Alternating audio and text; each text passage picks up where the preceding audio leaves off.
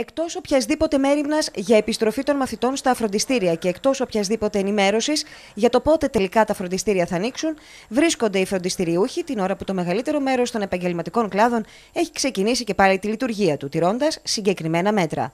Οι ιδιοκτήτες φροντιστηρίων ζητούν άμεσα να υπάρξει απάντηση σε μια σειρά ερωτήματα που έχουν θέσει και κυρίως την απάντηση που θα τους επιτρέπει άμεσα να επιστρέψουν στα φροντιστήρια οι ίδιοι και οι μαθητές τους να φανταστείτε ότι ούτε καν έχουμε μπει στη συζήτηση της Υγειονομικής Επιτροπής έως τώρα για να μας, ζητηθεί, να μας ζητηθούν τι πρέπει να τηρούμε προκειμένου να ανοίξουν. Εμείς θα τα τηρούμε επακριβώς, οτιδήποτε και αν ζητηθεί. Είτε θερμομετρήσεις, ήδη υπάρχουν σε όλες τις αίθουσες παντού ε, και υγρά για απολύμανση και μάσκες και γάντια, οτιδήποτε χρειαστεί, εμείς θα το πράξουμε. Όμως δεν έχουμε καμία μα καμία ενημέρωση αν θα ανοίξουμε ποιες συνθήκες πρέπει να έχουν, ποιε προποθέσει πρέπει να τηρούνται, τα φανταζόμαστε και τα φτιάχνουμε μόνοι μας. Είστε δηλαδή εξορισμού εκτός; Είμαστε εξορισμού εκτός, είμαστε εξορισμού εξορία. Ότι για τους μαθητές δεν τίθεται μόνο γνωστικό θέμα, αλλά και ψυχολογικό από την επιμακρόν απουσία από συνήθειές τους σε φάση κανονικότητας, τόνισε ο πρόεδρος του Συλλόγου Φροντιστών Ηρακλείου, ο οποίος διευκρίνησε ότι αν άμεσα δεν δοθούν απαντήσεις, από κοινού με τα φροντιστήρια ξέρων γλωσσών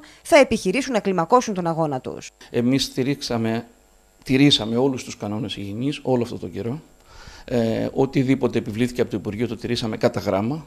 Να φανταστείτε στον νομό Ηρακλείου δεν υπήρξε ούτε ένα κρούσμα σε φροντιστηριακή μονάδα. Πράγμα που σημαίνει ότι η λογική ότι είμαστε χώροι υπερμετάδοση του ιού δεν στέκει. Σε συνεννόηση με τον Σύλλογο Φροντιστών των, ξενό, των ξενόγλωσσων υπάρχει μια σημαντική πιθανότητα, αν τα πράγματα δεν πάνε καθόλου καλά, στις 23 του μήνα να ανοίξουμε κανονικά, διαζώσεις στα μαθήματά μας και αν επιλέξει το, το κράτος να μας συλλάβει, ας έρθει να μας συλλάβει. Ότι υπό τις παρούσες συνθήκες οι οικογένειες καλούνται να καταφύγουν σε ιδιαίτερα μαθήματα, από τα οποία το κράτος χάνει σημαντικό μέρος εσόδων, ανέφερε ο κ. Καζαντζάκης, ο οποίος τόνισε ότι με τη μαύρη αγορά ιδιαίτερων μαθημάτων δεν θεμελιώνεται μόνο αθέμητος ανταγωνισμός, αλλά και κίνδυνος για τη διασπορά του ιού. Οι γονείς και τα παιδιά αυτή τη στιγμή βρίσκονται σε μια πολύ δύσκολη θέση. Δεν θέλουν καν να δινοηθούν ότι θα υπάρξει εξ εκπαίδευση θέλουν οπωσδήποτε τα παιδιά τους να έρθουν στα φροντιστήρια, το, το θέτουν σαν άμεση προϋπόθεση. Διαφορετικά, όπως ξέρετε, ε, θα οδηγήσουμε τα παιδιά στη μαύρη παραοικονομία των ιδιαίτερων μαθημάτων, ε, μαθήματα από τα οποία προφανώς χάνει τεράστια έσοδα το κράτος και απ' την άλλη δεν τηρείται κανένας κανόνας υγιεινής.